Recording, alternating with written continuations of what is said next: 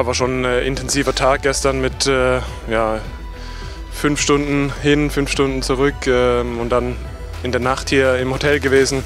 Aber wir konnten heute gut ausschlafen und äh, alle, alles war schon super organisiert auch. Und für uns war es trotz einem anstrengenden Tag äh, schon die bessere Variante, als wenn man das über zwei oder drei Tage sogar verteilen muss.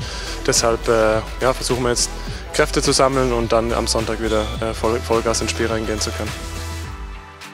Ja, es werden mal, werden mal schauen, auch wer bei den nächsten dabei ist, äh, ist glaube ich noch nicht ganz so klar. Ähm, Pat Reil hat zumindest zu, zu, uns in der Mannschaft gesagt, dass er nur das erste, erste Spiel spielt äh, und er ist schon der wichtigste Spieler für die.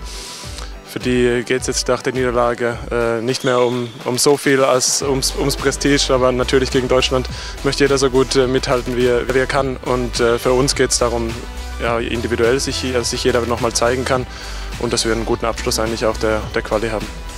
Ich habe hier 2009 äh, mein erstes Länderspiel gegen Weißrussland gemacht und ist auch nicht so weit weg von mir zu Hause. Deshalb äh, habe ich immer gute Erinnerungen hier an den Spielort.